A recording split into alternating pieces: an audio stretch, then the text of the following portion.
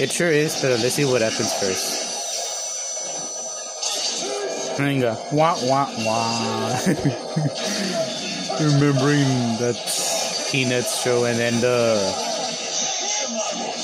stupid ass fish from SpongeBob.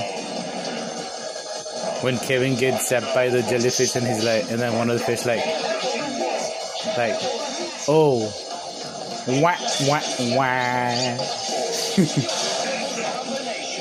and he gets annoyed. He's like, will you cut that out? I love that episode.